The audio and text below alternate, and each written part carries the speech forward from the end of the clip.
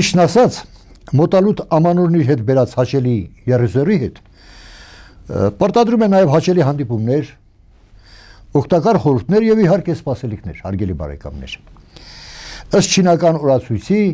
2018 թվականը շանտարի է լինելու։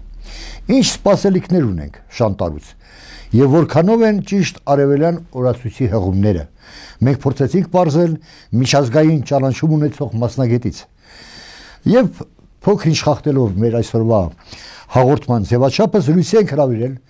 բանական եւ բնական գիտությունների ու պայծառատեսների միջազգային ակադեմիայի նախագահ, պայծառատեսական գիտությունների ակադեմիկոս պրոֆեսոր պարոն Ապալոն Նապոլեոնովիչ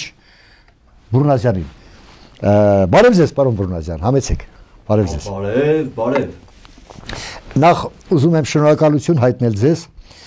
մեր հրավերն ընդունելու համար։ Խնդրեմ, խնդրեմ։ Ես լինելով մասնագետ, մեծ սիրով եմ եկել ձեր մոտ։ Շնորհակալություն ձեզ։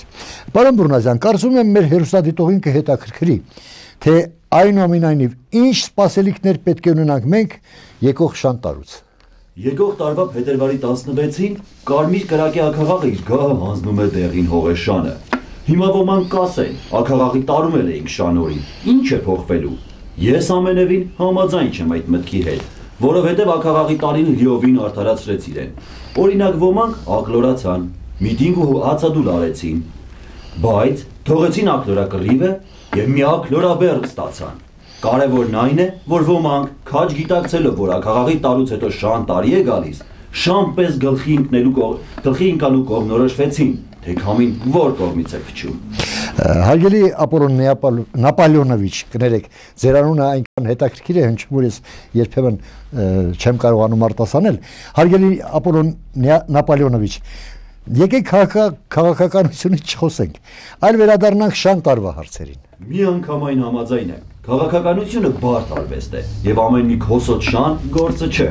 Ամեն շուն իր դրանը պետք է հաճա։ Ոստի մենք, հասարակ մարդկանացուներս Պետք է հաշտվենք այն բանի հետ, որ 2018 թիվը շան տարի է եւ ձգտենք, որ այդ տարում էլ շան օր չքաշենք, որովհետեւ մեր նամուսը հոշեներին չեն գցել, որ շան բաժին դարձնենք մեր վաստակած նյութական ու հոգեվոր արժեքները։ Հարգելի պրոֆեսոր, պարզապես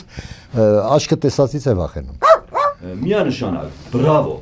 Համաձայն եմ ձեզ հետ։ Այո, ոմանք երկյուղ ունեն, որ դարձյալ ու կրկին կարող է շան բախտ ունեցողներն էլի շան ատամ ցույց տան շատ մարդկանց շան երեսով էլի շան լեզու բանեցնեն, իբր մենք իրենց հավատարմությանն ենք արժանի, իբր իրենք ունեն ժողովրդի նկատմամբ հավատարմություն, համոզեն, որ եթե իրենք մեզ ղեկավարեն, ամեն ինչ կեժանանա, կդառնա շան մսիգին։ Այդպես շան քարոզ կարտալով իրենց շնությունն են անում։ Իսկ մարդիկ էլ կմտածեն, թե շահից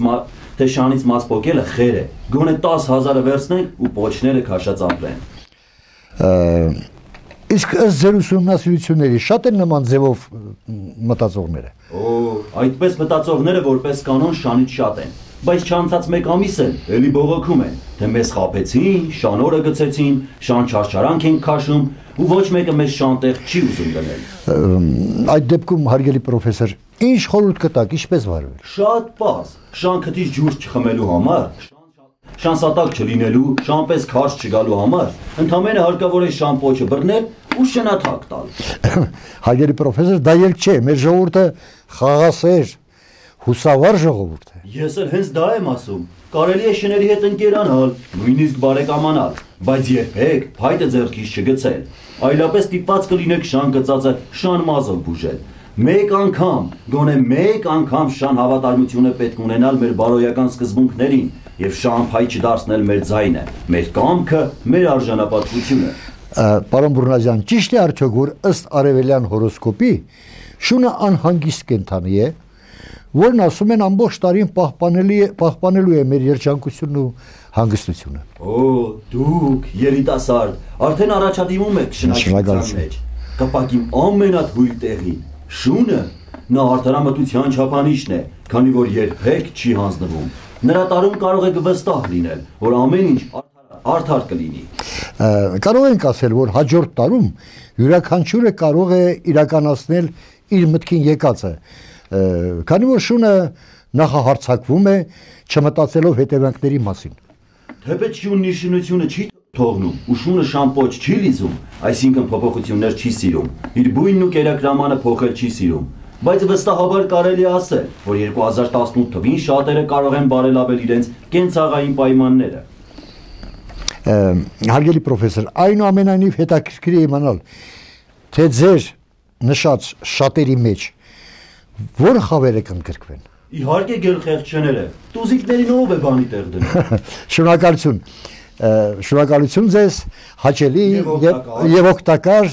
այո, շնորհակալություն ձեզ հաճելի եւ օգտակար Ուսուցողական այո, շնորհակալություն ձեզ հաճելի օգտակար եւ ուսուցողական զրույցի համար։ Եվ վերջում ինչ կցանկանայիք մեր ակնդիրներին։ Ինչ կցանկանայի, միթե པարզ չի։ Շան բախտ, շան բախտ կցանկանայի։ Չէ որ հաջողակ մեկին ասում են, շան բախտ ունի։ Բարեկամներ, հոգսերին եւ դժվարություններին շան տեղ մի դրեք։ Եվ այսպես սիրելի բարեկամներ, մեր հյուրն է միջազգային ճանաչում ունեցող գիտնական բանական եւ բնական գիտությունների պայծառատեսների միջազգային ակադեմիայի նախագահ, պայծառատեսական գիտությունների ակադեմիկոս, պրոֆեսոր պարոն Ապանոն Բուրնազյանը։ Իսկ որքանով է նրա զույցը օգտակար, դատեցեք ինքներդ։